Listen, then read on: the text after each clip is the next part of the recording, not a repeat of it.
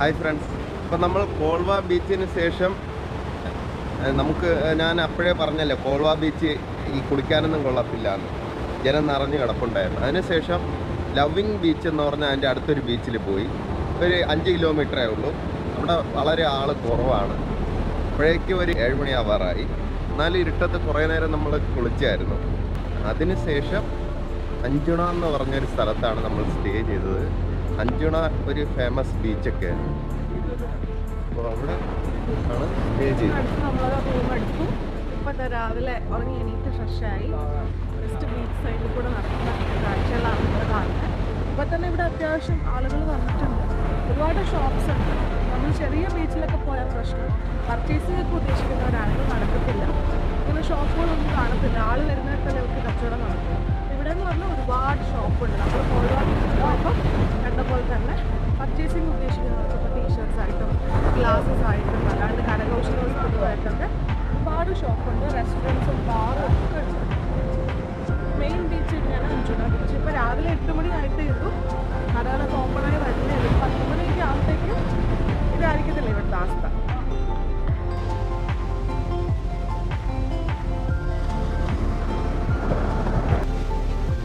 അഞ്ചുണ ബീച്ചിലൂടെ നടക്കുകയാണ്.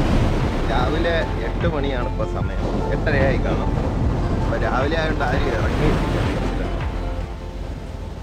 എല്ലാവരും രാത്രിയൊക്കെ മാക്സിമം ഇറങ്ങി അടിച്ച് കോൺതറ്റി ഇവിടെയൊക്കെ കിടപ്പുണ്ട്.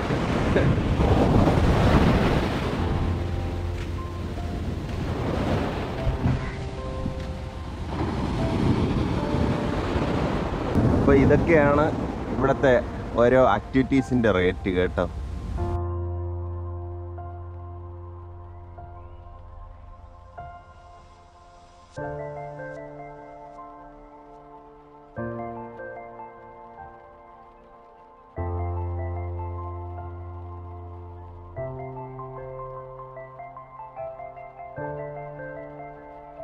ഇവിടുത്തെ കുറേ കടകൾ കടൽ അടിക്കൂടെ.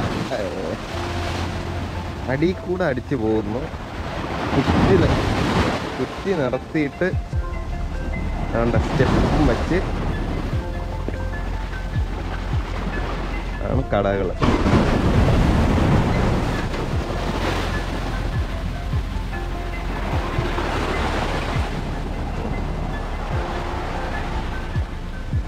അത് അങ്ങനെ ഒന്നും രണ്ടും അല്ല കുറേ കടകൾ. കടകളെല്ലാം അവർ സെറ്റപ്പാണ് അടിയിൽ കൂടെ തിരയടിക്കുന്നു. കേരളി കടകൾ.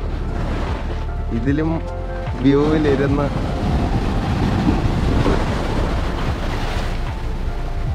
ഇതിലും വ്യൂവിലിരുന്ന് ചായയോടി സ്വപ്നങ്ങളില്ല.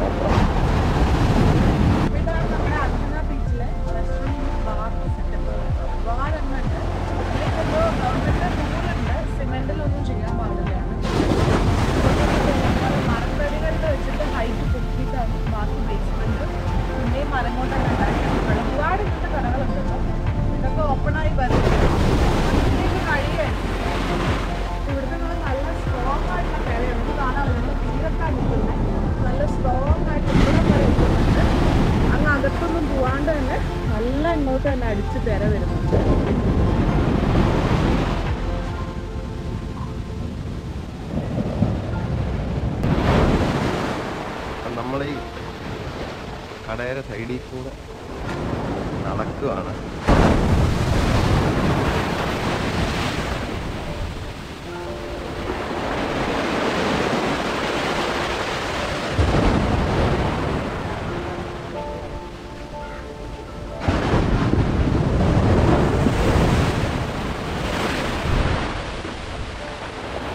എന്തായാലും ഇത്രയും കടലിന്റെ ഉള്ളിലുള്ള കടകൾ വളരെ ചുരുക്കം സ്ഥലങ്ങളിലായിരിക്കും. നേരെ കടലിൽ നിന്ന് സ്റ്റെപ്പ് കയറുക ഇവിടെ കൊക്കക്കോളയും പെപ്സിയും എല്ലാ സാധനങ്ങളും ഉണ്ട്. എന്താന്ന് വെച്ചാൽ കുടിക്കുക വീണ്ടും കടലിലോട്ടെടുത്ത് ചാടുക. അതാണ് സ്ഥിതി. നൈസല്ലേ?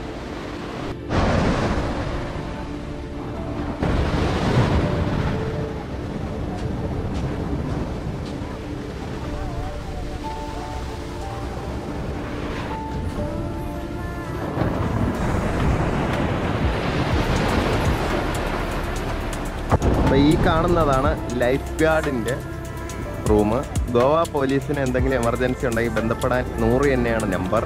അപ്പോൾ അവർ ഈ ഒരു ബിൽഡിങ്ങിൽ ഇരുന്നിട്ടാണ് ആരെങ്കിലുമൊക്കെ മുങ്ങാറായോ ഡേഞ്ചറായിട്ട് പോകുന്നുണ്ടോ എന്നൊക്കെ ചെക്ക് ചെയ്യുന്നത് അപ്പം നമ്മളിങ്ങനെ ബീച്ചിലൂടെ നടന്നുകൊണ്ടിരിക്കുകയാണ്. ഫ്രണ്ട്സ് നമ്മൾ ഇന്നലെ രാത്രി സ്റ്റേ ചെയ്തത് ഗോവ നോർത്ത് ഗോവയിലുള്ള അഞ്ജുണ ബീച്ചിന്റെ അടുത്താണ്. അപ്പോൾ ആ ബീച്ചിന്റെ കടലാണ് ഈ കാണുന്നതെല്ലാം. ഇവിടെ തൊട്ടടുത്ത് ഒരു നൂറ് മീറ്റർ പോയ ബീച്ച് എത്തുന്നതാണ്. അപ്പോൾ ഇവിടെ കാറൊക്കെ പാർക്ക് ചെയ്തു. ഇങ്ങനെ ഒരു ഓഫ് അകത്തൂടെ ഒരു റോഡുണ്ട്. അതിന്റെ അടുത്താണ് പാർക്ക് ചെയ്തിട്ട് സീ ഫ്രണ്ട് എന്നുള്ള ഒരു ഹോം സ്റ്റേയിലാണ് താമസിച്ചത്. അപ്പോൾ ഇതാണ് ആ ഹോം സ്റ്റേ.